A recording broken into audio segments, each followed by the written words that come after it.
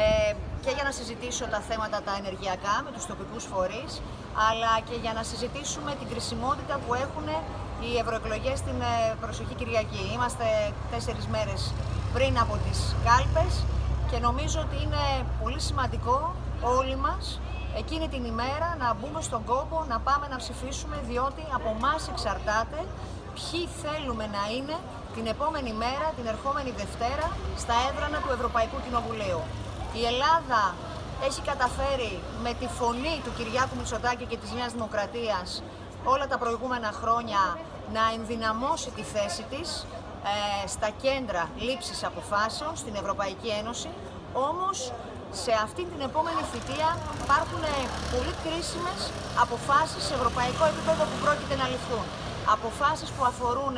στην κοινή αγροτική πολιτική, στην ε, ευρωπαϊκή άμυνα, αποφάσεις που αφορούν στην ε, ανθεκτικότητα των υποδομών μας. Ξέρετε, είμαστε μια χώρα που είμαστε ευάλωτοι σε φυσικές καταστροφές και πολύ περισσότερο σε τόπους όπως είναι και ο τόπος των Γρεβενών της Δυτικής Μακεδονίας, ένας τόπος που έχει αναπτυγμένη πρωτογενή παραγωγή. Είναι προς το συμφέρον μας λοιπόν να διεκδικήσουμε στην επόμενη ευρωπαϊκή θητεία περισσότερες αποφάσεις προς όφελος και της Ελλάδος. Γι' αυτό έχει πολύ μεγάλη σημασία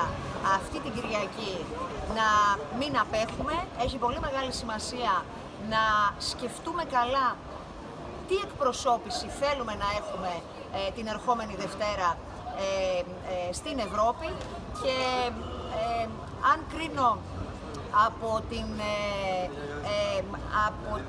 τη Νέα Δημοκρατία και από τον Έλληνα Πρωθυπουργό, από την επιρροή που έχει σήμερα στα ευρωπαϊκά κέντρα λήψης αποφάσεων, νομίζω ότι η Νέα Δημοκρατία και ο Έλληνας Πρωθυπουργός ε, πρέπει μέσα από αυτές τις ε, ευρωεκλογές να αναδειχθεί, ως,